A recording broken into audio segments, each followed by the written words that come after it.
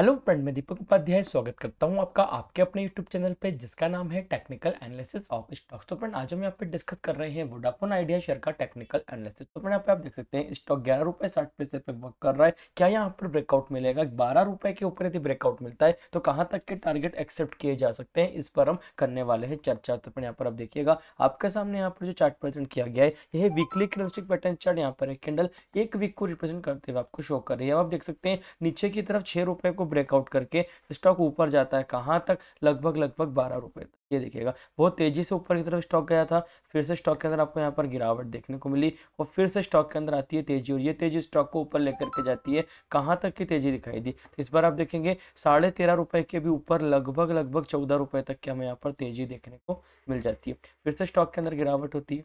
ये देखिएगा, फिर से स्टॉक के अंदर आपको यहाँ पर तेज़ी देखने को मिली और ये तेज़ी स्टॉक को कहाँ तक लेकर के जाती है? फोर्टीन रुपीज़ तक। ये देखिएगा। चौदह रुपये तक आपको फिर से स्टॉक यहाँ पर जाता हुआ दिखाई दिया और यहाँ से हो गई गिरावट एक बार, फिर से स्टॉक छः रुपये पे आपको दिख जाता है। ये देखिएगा छः रुपये वही लेवल है जहाँ पर पहले स्टॉक ने ब्रेकआउट लिया था तो स्टॉक बारह रुपये के ऊपर गया था। फिर आप देख सकते हैं स्टॉक यहाँ पर फिर से बारह रुपये तक जाता है।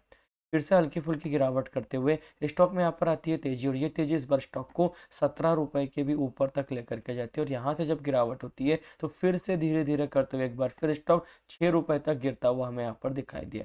ये देखिएगा, छह रुपए पे फिर से सपोर्ट जनरेट किया स्टॉक फिर ऊपर की तरफ़ चल रहा है। अभी स्टॉक यहाँ पर जा रहा है बारह रुपए के पास, अभी फ़िलहाल चल रहा है साढ़े ग्यारह रुपए के आसपास। तो यहाँ पर आप देखिएगा, यदि स्टॉक बारह रुपए के लेवल से फिर से रिवर्सल नहीं लेता और यदि यहाँ पर ब्रेकआउट ले लेता है, उस केस में आप यहाँ पर एंट्री कर सकते हैं। आपका जो टारगेट रहेगा, वो आपको वापस चौदह रुपए के आसपास का देखने को मिल सकता है। लेकिन वो डिपेंड करता है जब यहाँ पर ब्रेकआउट होगा, उसके बाद। अभी अगर आपने ऑलरेडी बाइंग किया था सात आठ रुपए के आसपास तो आपको यहाँ पर प्रॉफिट बुकिंग करना चाहिए। साढ़े ग्यारह के आसपास का प्रॉफिट चल रहा है। यहाँ पर भी देखा जाए तो और ऊपर की तरफ़ देखा जाए, ज़्यादा से बारह रुपए के आसपास स्टॉक जा करके फिर से रिवर्सल भी ले सकता है और बारह रुपए पे ब्रेकआउट भी आ सकता है। यदि ब्रेकआउट आएगा तो हम फिर से री करेंगे। नीचे की तरफ़ जो स्टॉप लॉस होगा, वो ग्यारह रुपए अस्सी पैसे रहेगा, लेकिन बाइंग होगी बारह रुपए बीस पैसे के ऊपर, वो टारगेट रहेगा चौदह रुपए का। तो फ्रेंड अभी फ़िलहाल तो आपको यहाँ पर कोई भी एंट्री नहीं करना चाहिए, क्योंकि अभी एंट्री करेंगे और यदि रिवर्सल आता है तो आपको फिर से अपनी पोजिशन लॉस में कन्वर्ट होती हुई दिखाई दे सकती है। तो फ्रेंड अभी क्या करना है? अभी वेट एंड वॉच करना है। ब्रेकआउट का इंतज़ार कीजिए। यदि ब्रेकआउट होगा तो आपको एंट्री करके ऊपर की तरफ़ चौदह रुपए का टारगेट और नीचे की तरफ़ ग्यारह रुपए अस्सी पैसे का स्टॉप लॉस रख करके